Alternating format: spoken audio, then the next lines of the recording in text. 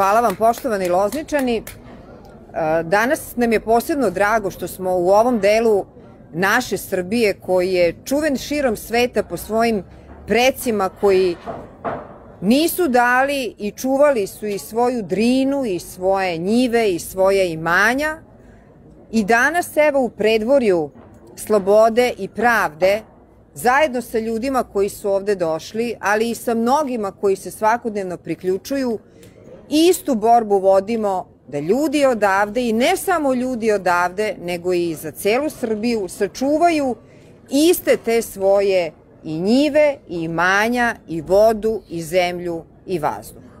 Svi dobro znamo da je tema na temama danas u Loznici i u celoj Srbiji borba protiv potencijalno ekstremnog zagađivača, a to je afera ili slučaj Rio Tinto, kako se kolokvijalno naziva, jer ima više kompanija koje žele da se bave izvlačenjem i obradom litijuma.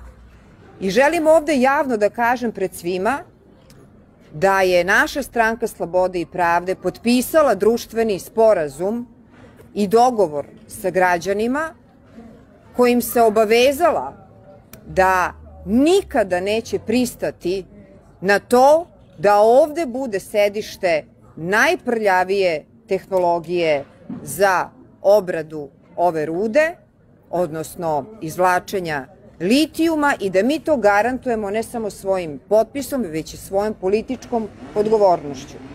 Mi smo se tim sporazumom obavezali da nećemo ni koalirati ni sarađivati sa drugim političkim faktorima, organizacijama i pojedincima koji bi doneli drugačiju odluku. Da ne bude samo dileme, svi smo svesni da litijum jeste značajan resurs, resurs budućnosti za nekih narednih 60 do 80 godina. I niko nema ništa protiv toga. Ali imamo jako protiv toga da se pogubnom tehnologijom da se katastrofalnom tehnologijom, koja se jedino do sada primenjivala, uništi ne samo ovo područje, već i generacije širom Srbije. Ne postoji, ne postoji taj milion profita, ne postoji ta nadoknada u budžetu, ne postoji taj suficit, ne postoje ta radna mesta Ne postoje ta obećanja koje sada po silnim reklamama, od RTS-a do evo slušamo na radiju non stop po putu gde se Rio Tinto reklamira, ne postoji ta korist koja će odneti i jedan ljudski život. Nema profita. Nema te računice koja s jedne strane stavlja korist i profit, a obično, obično u ovakvom režimu u ovakvoj Srbiji ta korist i profit završe samo u, u džepovima određenih porodica i sa druge strane život ma i jednog čoveka. Ja dolazim iz Pančeva, grada koji se 30 godina bori sa aerozagađenjem. Igor dolazi iz Beograda, naš predsednik odbora za ekologiju, profesor Igor Radošević, koga muče deponije i sada isto aerozagađenjem. Dejan koji zna šta je sa zagađenjem u zemlji. Znači mi smo zagađenje na različitim oblastima živeli ovih 30 godina. Kod mene u Pančevu, u mojim generacijama, pre 30 godina deca nisu nosila lutke u vrtiće nego pumpice. I moje dete takođe. Ali ovde kod vas u Loznici imamo svu tu usložnjenost sa kataklizmičnim posledicama ukoliko se ne budemo izborili da sa ovakvom tehnologijom ne može ništa da se uradi osim da se napune džepovi pojedinaca, a da za uzvrat cenu plate generacije ljudi. Mi ne možemo da živimo samo sa a, isključivo ličnom svešću kako je od danas do sutra. Ja se sećam ankete u Beogradu kada je Beograd prvi put izbio kao najzagađeniji grad na svetu, jednu gospođu novinari pitaju šta vi mislite o ovom aerozagađenju, 6000 ljudi godišnje pre, premine od posledica aerozagađenja, a ona kaže pa sve u redu, ništa se ne vidi. Dakle, svest o tome da samo ako vidite crnu ili crvenu užarenu loptu pred vašim nosem se desilo nešto strašno je pitanje obrazovanja. I mi od nula godina, to je takođe naš važan zadatak, evo Igor radi sa studentima, od nula godina moramo takođe sa našom decom da radimo na tome koliko je pitanje životne sredine važno. Ne presudno, ali važno. I ovim ću završiti, naravno ostati tu za vaša pitanja. Ali je svima jasno da dok ovu koruptivnu vlast ne smenimo, neće moći da bude bolje ni loznici, ni vazduhu, ni zemlji, ni bilo čemu. Zašto to kažem? Zato što, pazite, na tako osetljivom pitanju zdravlja, bezbednosti, jer ovo je pitanje bezbednosti ljudi, života ljudi, ne postoji projekat u, koji, u kome nismo imali koruptivne prste ovog režima. Nama kaže Evropska unija, mi svi podržavamo. Da, zeleni dijalog, zeleni dogovor, nova agenda na, na, na stolu Evropske unije. Alternativni ili obnovljivi izvori energije, odlično, slažemo se, tako je. Evo vetroparkovi, odlično, oni su jako popularni. Pa ko drži najveći vetropark u Srbiji? Čibuk 1 kod Kovina, otvoren prošle godine u mom Banatu. Pa premijerka Ana Brnabić, pa njena kompanija je krenula da radi na tom vetroparku, posle ga prodala drugim konzorcijumima. Onda imamo mini hidroelektrane i tamo smo išli 2018. kod Eska u Rakitu kada niko drugi nije nije išao, prepoznali problem, pomagali proceduralno da se to reši, odlično, evo hoćemo mini hidroelektrane, ne te cevne, nego branske. Pa ko je najveći graditelj mini hidroelektrana? Pa prvi kum Srbije, Nikola Petrović, kum Aleksandra Vučića, koji je da stvar bude gora, bio direktor elektromreže Srbije. I sad vi na računu za struju, a to ne postoji nigde u Evropi, imate dodatnu stavku iz koje se finansiraju obnovljivi izvori energije ili ti mini hidroelektrane i mi plaćamo Nikoli Petroviću da gradi svoje mini hidroelektrane. Razumete? Znači, ne postoji, ne postoji čak ni vazduh, a da nisu koruptivni prsti u to upleteni. I naravno sa vazduhom Ling Long u Zrenjaninu. Znači, najotrovnija industrija, proizvodnja guma. Mi smo deponija Evrope. Ovde su je smestili. Kod Irene naše Živković u Boru. Železara Smederevo takođe. Kineske fabrike. Nemamo mi protiv kineskih fabrika, ali imamo protiv načina na koji se radi u tim kineskim fabrikama. Pa tamo naši inspektori, jer znate da inspektori, naši, državni, ne smeju da uđu u kineske fabrike. Ne smeju da uđu, zato što su zaštićeni kao beli medvedi. Kineski vlasnici, zaštićeni nad državnim i međunarodnim sporazumima i za njih ne važe naši propisi. E, to moramo da promenimo. Ne postoji čovek, makar jedan, ne ovoliko puno koliko vas je danas, koji je željan da se bori i da odgovori na ovu represiju i zloupotrebu svih naših života i za kog mi, kao stranka slobode i pravde, nećemo stajati. Ja vam neću danas govoriti o koruptivnim aferama, o krađi, to svi znate. Svako u svom mestu zna ko je šta bio i ko je šta postao. I svako zna ko je koliko znao a ko je kako kupio onda diplomu. I svako zna ko šta nije imao, a ko je šta dobio. I ne treba Marinika ili Dejan ili Dragan Đilas, naš predsjednik, da dođe to da kaže. To znate vi i to mora da se raskrsti kada za pet meseci smenimo ovaj režim. Ali, isto tako, moramo svi zajedno da se borimo, ne smemo da se plašimo, mi obilazimo Srbiju intenzivno, atmosfera se menja i ljudi znaju. Ne možete više da ih prevarite posle 9 godina. Možda ste mogli neke 12, 13, 14, glumili ste, slagali prste, uzdisali, imali predstavu. Ne može to više da prođe. 10 godina naših života je potrošeno na to da smo se vratili krugom 30 godina unazad i da smo zapravo uspeli da demaskiramo ovu vlast i da dokažemo da je Aleksandar Vučić isto ono što je bio i 90. godina i pošto nema više sa kim da nas svađa u regionu, sada hoće da nas posvađa međusobno. Da ima svoje novinare i naše novinare. Ne, svi moraju da budu jednaki. Da postoje njegovi građani i naši građani. Ne, svi su isti građani naše zemlje.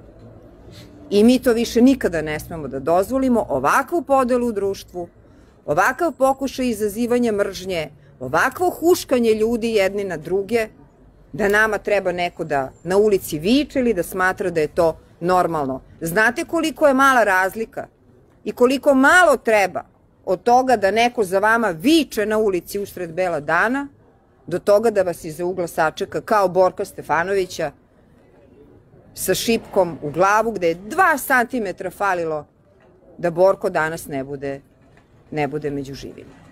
Hvala vam puno. Evo malo pred ste pomenuli, pitanja. Evo, pitanja. Pomenuli ste Rio Tinto protest otvaranja. Pre četiri godine predsjednik Dragan Đilač je bio dušno za to da se otvori rudnik, da je to šansa ne samo za Srbiju, nego za, e, da kažemo, celu Evropu. Šta se desilo umeđu vremenu za te četiri godine i znamo da su, e, da kažemo, istražne radnje krenule upravo kad je demokratska stranka u kojoj on tada bio Eh, na vlasti, odnosno bio u stranci sami, a ona bila na vlasti. Šta ja, se mogu desilo? ja ti. Eh, Dragan Đilas, mislim da, da ste pobrkali. Dragan Đilas nije bio predsjednik pre četiri godine i nije pre četiri godine bio ovde. Ali ću rado da ponovim... Pre četiri godine on izjavio. Rado ću da ponovim ono sa čim sam počela ovo, možda niste bili pažljivi. Dakle, a, svako normala, naročito inženjer, će vam reći da litijum jeste veliki resurs i naročito će to biti za 60 do 80 godina. Ali, ne na način da vaša deca više ne mogu ovde da žive, da imaju žive rane po nogama, da moraju da se isele odavde. Jel vi želite to za, vaš, za vas i za vašu decu i vaše unuke? Ja ne želim, iako ne živim u Loznici. Ali ja to ne želim. Ni za jednog čoveka na ovom svetu. Vi ste sigurno videli sve snimke, fotografije, dokumente lokaliteta na kojima ova fabrika radi. Ako to želite bilo kom čoveku pod opravdanjem, pod opravdanjem da to stvara profit, ja mislim da je to do te mere morbidno da bih se zapitala da li nešto u toj percepciji nije u redu sa mnom, a ne sa drugima koji kažu ne smrt ljudima. Ovde nije u pitanju samo prinudno iseljavanje ljudi koji će zaista zbog zagađenja i vode, naročito zemlje i vode, biti u egzistencijalnom problemu. Pazite, kraj i mačva koja je milina, i to nije samo ovaj kraj, vi imate do Zlatibora ceo potez, mislim, nije to samo loznica u pitanju, to se samo širi kao, kao, kancer, znate? I nikad dosta. Nikad dosta para i profita i zloupotreba i tako dalje. Ja nisam spremna. Ja nisam spremna da podržim bilo koga ili bilo šta. Da, evo, džak para stavi ovde ispred vas i ispred mene. I da vam kaže, bezbedni ste za naredne tri generacije. Da znam da će jedan život biti ugrožen, a kamoli uništen. Ja vas molim, pogledajte Pogledajte lokalitete, pogledajte države, pogledajte teritorije gde a, ova kompanija sprovodi svoje radove. Ja mislim da nećete mirno spavati te večeri ako budete razmišljali da će to isto da radi u vašem gradu. To nije zaslužilo ni jedno živo jasno, biće, ja a kamoli čovek. Vremenu. Ja ću vam ponoviti još jednom. Ne znam da li se dobro razumemo, pričam srpski, trudit ću se da ponovim. Dakle, Tehnologija je problem. Ne litijum, nego tehnologija. A za sada ne postoji poznata tehnologija, iako se ona obećava, kojom je dokazano da neće doći do ovih posledica ili da neće izazvati štetne posledice po ceo biosistem, ne samo po, po, po ljude, jel? nego na ceo biodiverzitet, ceo biosistem. Ne postoji nigde nije primenjena druga ili drugačija tehnologija u odnosu na dosadašnju koja je kataklizmična za živi svet. Hvala. Super sad Nada Čelebrić, znači ukoliko se pojavi uh, investitor, bez obzira domaće strani, sa tehnologijom koju struka kaže da treba, ili se onda može pričati o tome da se ipak kopove napravi litijum ili ne? To je proces, to mora da se dokaže, to mora da se uradi. Ja zaista nisam, nisam stručna.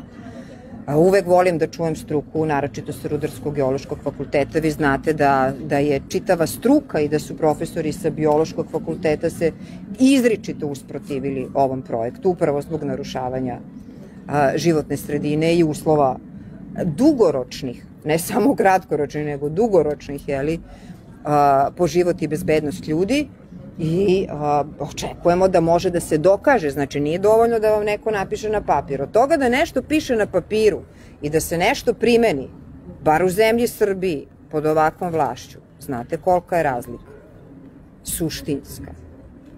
Ovde sve što piše na papiru ne važi.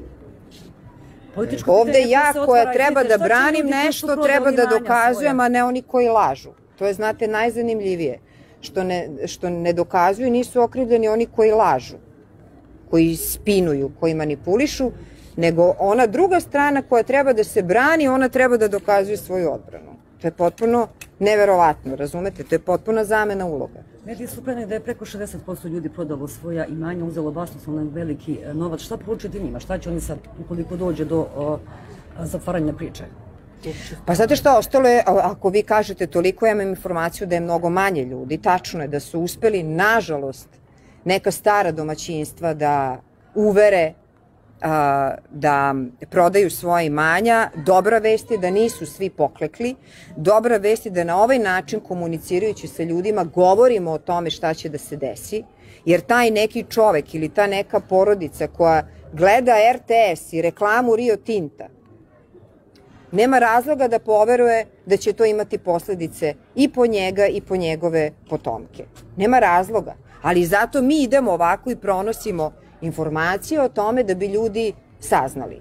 Evo mi imamo saznanje, na primjer, da e, e, kompanija Rio Tinto pokušava, bit ću gruba, ali ću tako reći, da kupi čak i sportska udruženja, sportske klubove ovde kod vas u Loznici, ili da budem još grublja, da ih potkupi, da ih podmiti.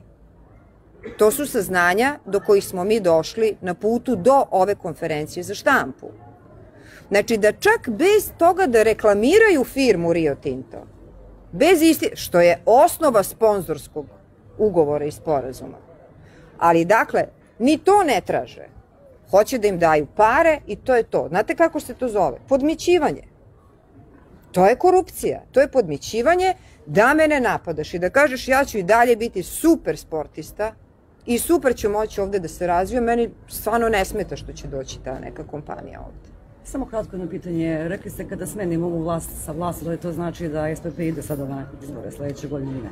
E, mi ćemo objaviti uskoro zajedničku odluku, verujem sa partnerima sa kojima razgovaramo, iz demokratske stranke, iz narodne stranke, pokreta za preokret, pokreta slobodnih građana, sa više sindikata, pojedinaca, profesora, relevantnih javnih ličnosti i obavestit ćemo sigurno javnost e, ubrzo kada postignemo dogovor.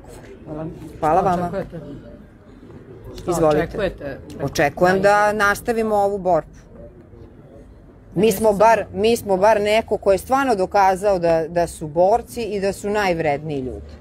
I kad smo bili u parlamentu, i kad smo izašli iz parlamenta, i kad nismo više svojom voljom ušli nakon bojkota, i kada smo ostali na ulici, i kada nam ne daju javni prostor da držimo svoje skupove sa građanima, pa evo idemo od ulice do ulice, od grada do grada, nikakav problem.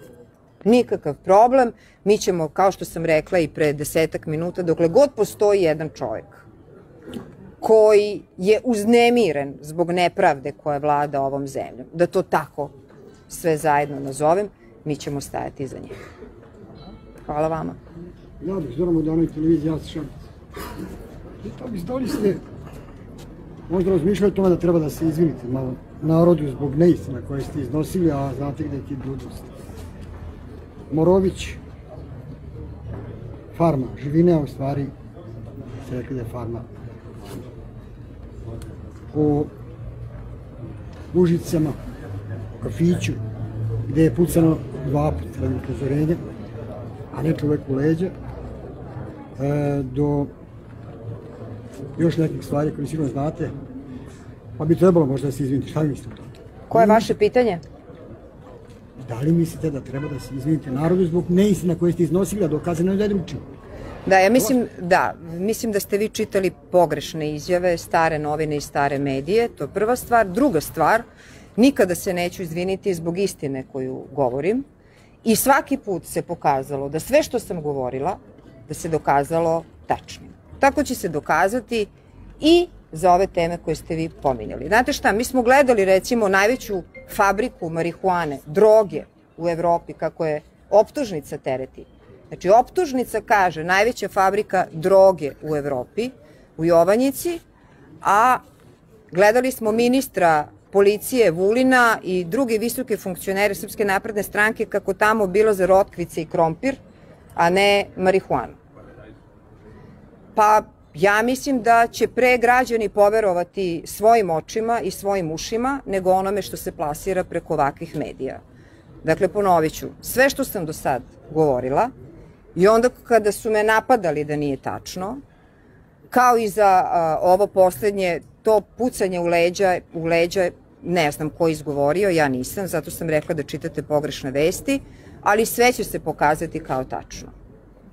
I sve se pokazalo kao tačno.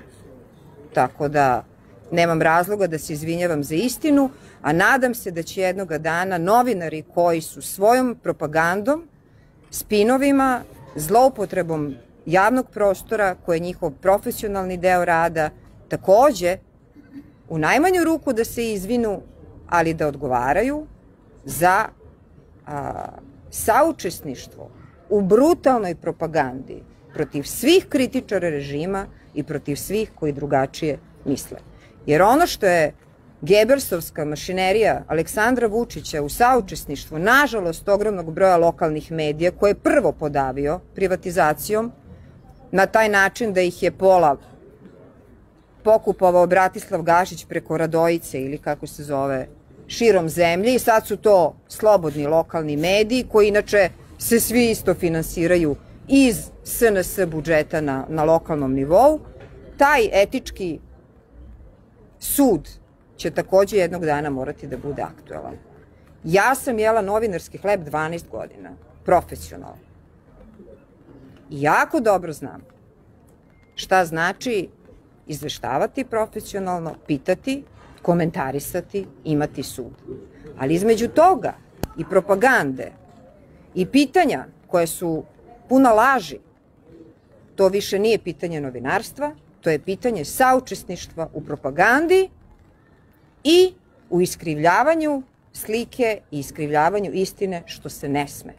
Novinari to ne smeju da rade i ja vas molim i zbog vas i zbog mene i mojih kolega i ovih ljudi koji informišete u Loznici da ili proverite prvo informacije pre nego što ih stavite u pitanje kao činjenicu, jer nisu činjenica i neistinite su, i da isto tako nakon toga proverite sve ono što sam ja rekla i uverit ćete se da sve što sam do sad govorila uvek se pokazalo kao istina pre ili kasnije. I tako, tako će biti u ovom slučaju. Hvala vam. Šta mislite za Srebrenicu, pošto ste zato se Gospodine, da je... ako želite intervju, sa mnom možemo da odemo do prostorija stranke. Ja sam ovde došla, ja sam ovde došla zato što u ovom gradu gori pod nogama. Ovaj grad je buduće ne žrtveno jagnje režima partije i bratije Vučić u ovoj zemlji. Ja sam mislila da ćete vi, pošto vidim, nemojte se ljutiti da imate dosta godina, da ćete bar zabrinuti za one naj, najmlađe u ovom gradu. Da se trudite da, da sve informacije ovog sveta imate kako biste sprečili da ubica ljudi ovde napravi ono što nigde na svetu ne bi smeo, a u Evropskoj uniji nikako.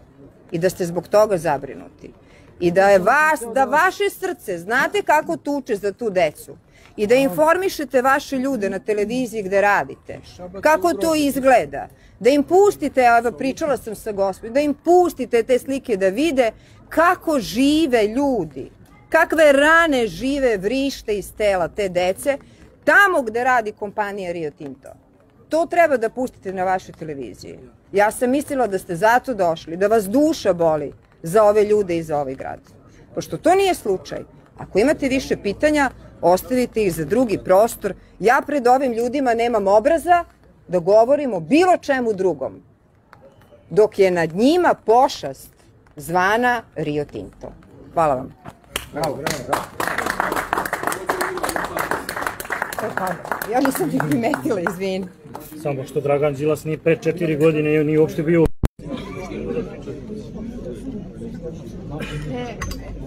četiri godine izjavljivao to, ja nisam... Rekli ste da je bio u Loznici. Rekli ste da je bio u Loznici. Ne, da je bio u Loznici. Četiri godine.